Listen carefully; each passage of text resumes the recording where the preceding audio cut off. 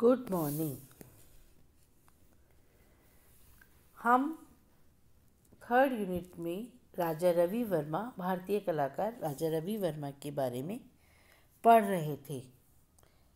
पिछले वीडियो में मैंने आपको बताया था कि राजा रवि वर्मा का जन्म कहाँ हुआ, उन्होंने किस प्रकार कला की शिक्षा, प्रारंभिक शिक्षा ग्रहण की और किस तरह उनका रुझान तैल चित्रों की तरफ़ से हुआ। राजा रवि वर्मा एक ऐसे कलाकार थे जो किल्ली मनूर से निकलकर त्रावणपौर पहुंचकर वियना की चित्र प्रदर्शनी में स्वर्ण पदक हासिल करते हैं। 19वीं सदी की यूरोपीय यथार्थवादी शैली में वह ऐसी दक्षता के साथ काम करते हैं कि समूचा कला जगत अभिभूत रह जाता है। इससे भी उल्लेखनीय बात तो यह है कि उन्होंने कला के लिए किसी भी संस्थान से अकादमिक शिक्षा ग्रहण नहीं की। वे पूरी तरह आत्मदीक्षित कलाकार थे जबकि वह जल रंगों से उतने परिचित नहीं थे और तेल रंगों का वह भारत में पहली बार इस्तेमाल कर रहे थे। उन, उन उसने वीणा उन्होंने वीणा बजाती हुई एक भारतीय स्त्री का चित्रांकन किया था। रंग की स्पेस क्रिएटिविटी प्रॉपर्टी का जो इस्तेमाल उन्होंने किया है, वह किसी भी यूरोपियन महत्वाकांक्षी चित्रे के लिए ईर्ष्या का कारण बन सकता है। राजा रवि वर्मा जन्म से ही राजा नहीं थे, लेकिन उन्हें उनकी अद्भुत प्रतिभा ने अंततः राजा बना ही दिया। हालाँकि वे बेहद सुरुचि संपन्न परिवार से ही जन्मे थे जहाँ साहित्य और कला को अत्यंत परिष्कृत समझकर अभिजीत माना जाता था। माँ उमा, अम्बा तथा पिता पिता इजुमा बिल नील कांतन भट्टाचार्य की भट्टी पात्र की संतान राजा रवि वर्मा की प्रतिभा को पहचान पहली बार उनके चाचा ने की।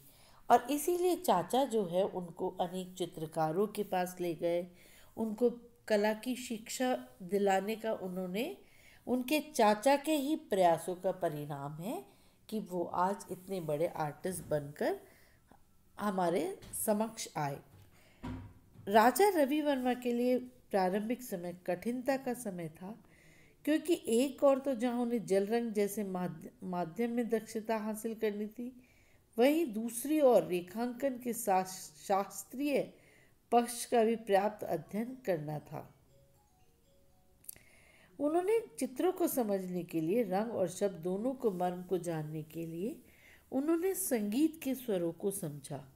कथक कली की कई मुद्राओं को उन्होंने कलाकार की दृष्टि से आत्मसात किया। एक दिन, इसी बीच एक दिन मद्रास के एक अखबार में तैल रंग का एक विज्ञापन छपा। यह माध्यम उनके लिए नितांत अपरिचित और चुनौतीपूर्ण था। राजा रवि वर्मा ने युवा भतीजे के लिए तैल रंगों को उपलब्ध कराया, लेकिन दिक्कत ये थी कि वे उनके इस्तेमाल से नितांत अन्य थे। लेकिन धीरे धीरे वे विदेशी चित्रकार थियोडोर जेनसन को देखकर काम करना सीख गए। वे कहते थे वे कहते थे कि चित्र बनाना और चित्र की, चित्र को समझना दोनों अलग अलग चीज़ें हैं। अतः किसी भी चित्र को बनाने के पीछे उसका गहन अध्ययन होना आवश्यक है।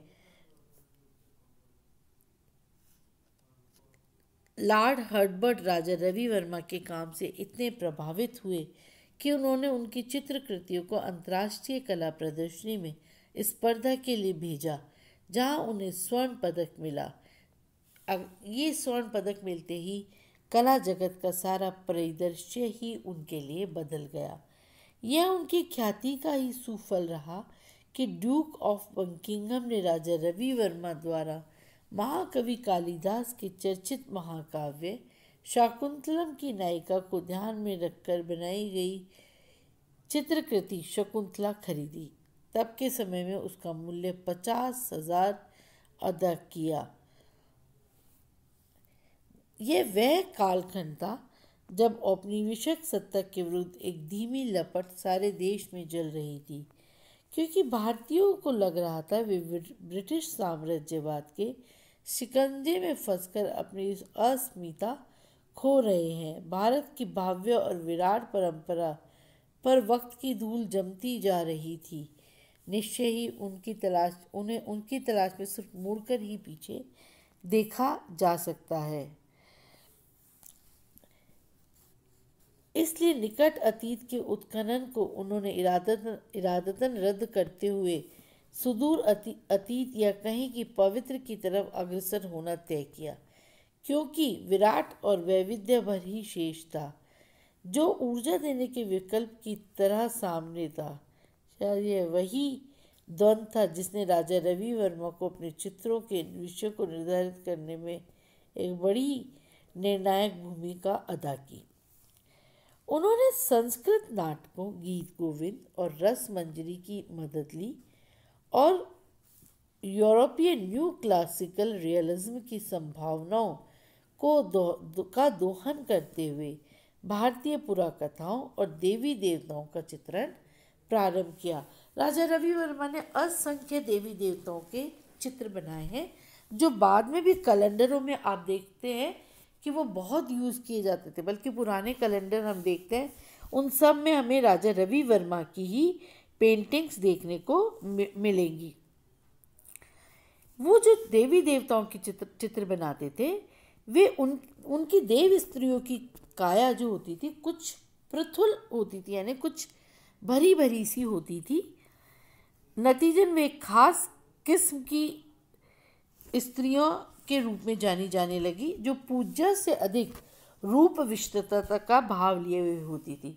ऐसा माना जाता था, ऐसे बहुत सारे लोगों ने उनके क्रिटिस उनका आलोचना की कि जो उनकी स्त्रियाँ हैं, जैसे वो रामायण का या वो महाभारत का या वो किसी देवी का चित्र बना रहे हैं तो वे, वो एक देवी न लगकर एक बहुत सौंदर्यमयी स्त्री ज़्यादा लगती थी। उनको, उनकी जो तुलना थी, वो विदेशी स्त्री की तुलना, से की विदेशी चित्रकारों, चित्रकार जैसी स्त्रियों बनाते थे, वैसी ही उनको उनके चित्रों की स्त्रियों के लिए कहा जाने लगा था। लेकिन फिर भी कहना न होगा कि पुरा कथाओं और देवी देवताओं का चित्रण आसान नहीं था। क्योंकि उनके आभूषण, उनके वस्त्र विन्यास, उसके साथ ही उस परिवेश, उस काल को समाहित करना, उस काल को चित्रित करना जो उन्होंने, जिसका कोई प्रत्यक्ष साक्ष्य नहीं था।